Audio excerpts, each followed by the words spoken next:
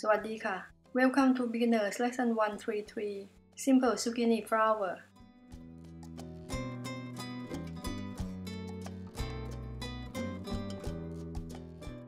Choose a fresh firm zucchini. Cut off a 5 cm long piece. Slice down following the shape of the zucchini, stopping 1 cm from the base and turn the knife inward. Slide the second petal, cutting through the first petal to create a small petal. Follow the same steps.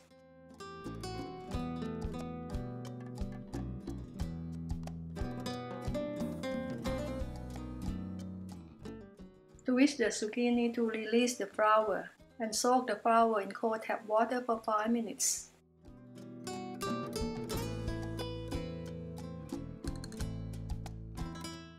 Cut a small dome-shaped piece of carrot. Carve into a rosebud and place in the center of the flower.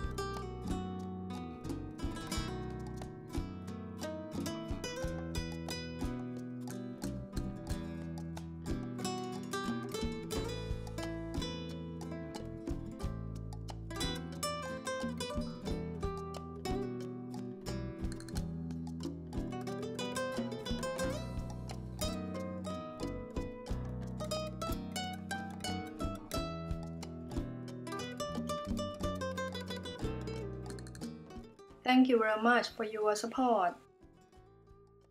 See you again on my next video. Bye bye.